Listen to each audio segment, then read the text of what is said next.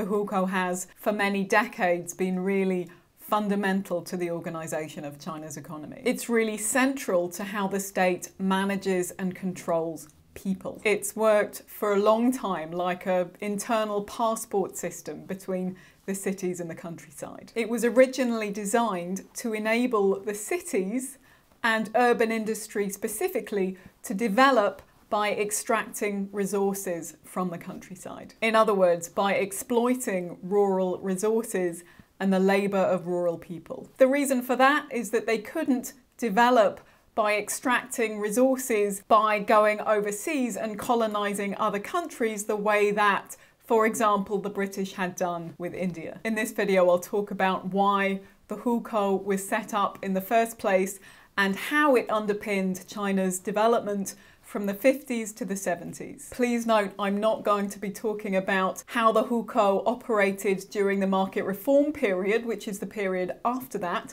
It operated quite differently at that point. I'm also not going to be talking in this video about the recent hukou reforms. There are actually efforts at the moment to get rid of the urban-rural distinction. All of that's very important, but it's a separate topic for a different video. The hukou was first established in the 50s and developed over time and eventually took its fullest form in 1958 just as the Great Leap Forward was being launched. Arguably, it does have a much longer history than this. There have been forms of household registration in China dating back many, many centuries.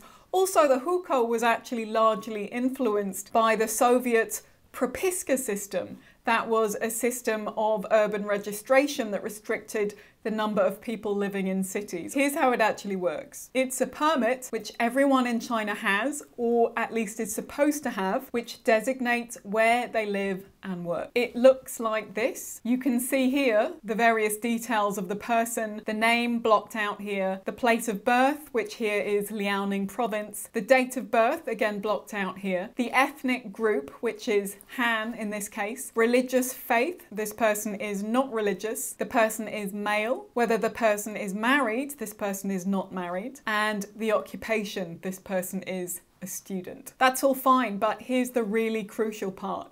This person is characterized as non-agricultural. The characters here say that this is a non-agricultural household registration permit. The central job of the hukou was to designate everyone in the population as either urban, non-agricultural or rural agricultural. And based on their hukou, people were assigned to a place of work. So in the countryside, that would be a rural large collective farm or commune. And in the cities, that might be a factory or a bureaucratic office of some kind. Whether people were categorised as urban or rural, depending on their hukou, had a huge impact on their lives to a large extent, it designated whether or not they were winners or losers. The reason for that is that the state allocated public goods that people were entitled to depended on their hukou. For those living in the cities, they got more, and that included access to housing, people's schooling for their children, and also healthcare. For those living in the countryside, the state didn't provide this. It had to be provided by the collective farms or the communes that people belonged to, or lower down by the production teams that people were organised into within those communes. Under this system, agricultural labour could be easily organised and managed by the state, and grain could be procured from these communes at cheap cost and transferred to the cities to supply the needs of the urban industrial workforce, leaving just enough over for the agricultural workers who had produced the grain in the first place to live on, at least when the system actually worked. By extracting grain from the countryside at low cost, the state could prioritise basically the standard of living in the cities to industrialise as fast as possible, which was really the goal. The agricultural workers couldn't just up and move to the cities where the living standards were generally higher because they were tied to their place of work by the hukou. So why did Chinese policymakers put this system into practice in the first place? First, because they had to build up China's economy and industry when they were also facing serious levels of international hostility not least from the United States, who was very angry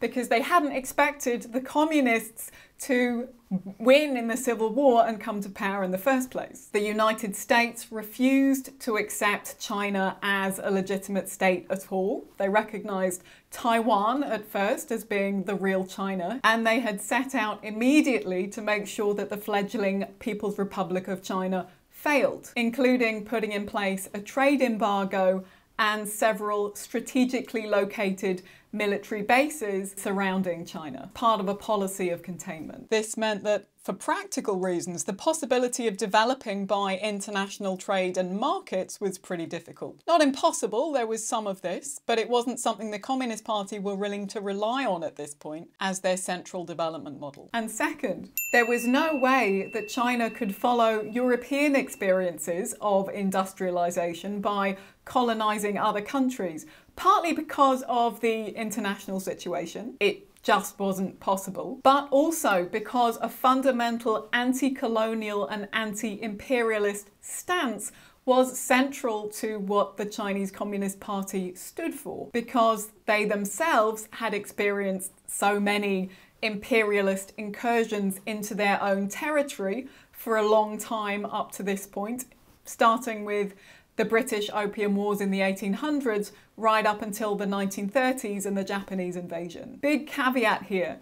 The claim that China's Communist Party did not then or does not now practice imperialism or colonialist policies is open to dispute. That is a really important issue, but topic for other videos, not this one. The Communist Party leaders had also come to power, of course, promising to protect China from the ravages of international capitalism, which, as far as they were concerned, would only leave their country in a backward, undeveloped state while predatory foreign businesses came in and took full advantage. So, perhaps ironically, but facing a real lack of viable options, the Communist Party had to develop China's industry by exploiting themselves instead. Here's how the famous agricultural economist in China, Wen Tiejun, has put it. China did not, as did Western states, carry out plunder and expansion externally, but mainly deployed internal self-exploitation, extracting accumulation from the countryside.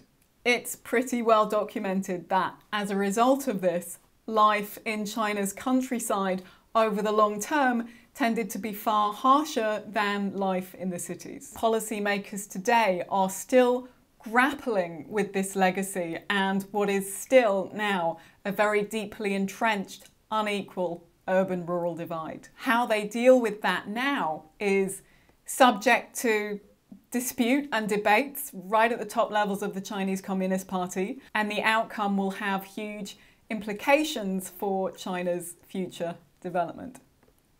Thank you for watching.